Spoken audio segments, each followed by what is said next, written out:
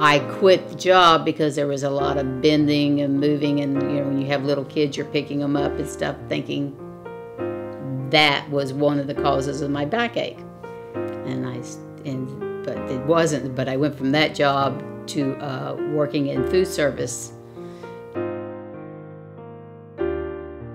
because I didn't have insurance at that time. Uh, I uh, went to see a orthopedist and he had me go buy my own brace. Continually kept getting worse and I got to a point that I started spasming and like uh, I couldn't even sit in a chair and I would just spasm straight out. Uh, I fell another time and twisted the left knee and that pretty much stopped me from walking because I couldn't put pressure on my right ankle because of the break and then the left knee didn't do it and uh, I became totally bedfast. My primary care sent me to UF Health to, and referred me to neurologist, Dr. Pooley.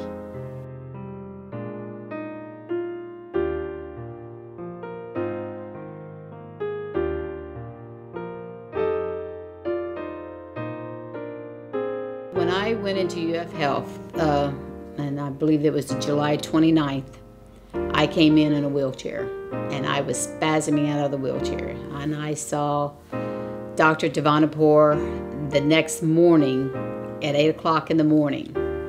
And, you know, he told me my diagnosis and everything. And um, he let me show me what my problem was. And Dr. Tavanaiepour had me in surgery. And I believe it was the 8th of August that I went into surgery. And he had let my family know that um, there's a good possibility that I would never walk again because of the, how large the tumor was and how much, how it was so intertwined in my spinal cord. I kept going back to see Dr. Tavanaiepour to, you know, and he was amazed every time I did come back. And then I came in first with the walker. And then the next time I came back to see him, I'm using the cane.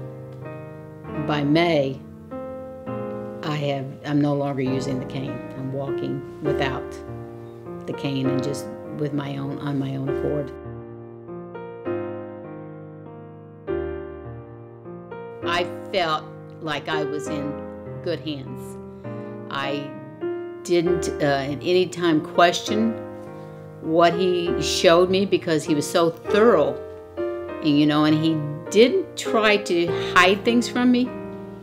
He let me know what could happen, but I just felt very comfortable with him, and I felt that he was very knowledgeable in what he did, and I felt very comfortable the way his whole team came together and really helped me get through what we I was going through. I would recommend him to anybody. And I have often told people, you know, I don't hesitate to tell people who did my surgery. I have to say, if it wasn't for getting to UF Health, I don't think I would ever be walking. I think that they're the ones I do feel that they saved my life.